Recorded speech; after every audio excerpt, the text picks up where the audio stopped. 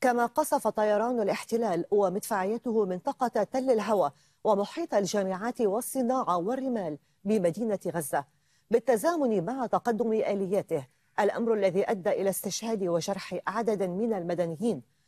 وتمركزت قوات الاحتلال في محيط الجامعات والصناعة بعد تقدمها من المحور الغربي ودوار الدحدوح جنوب حي تل الهوى.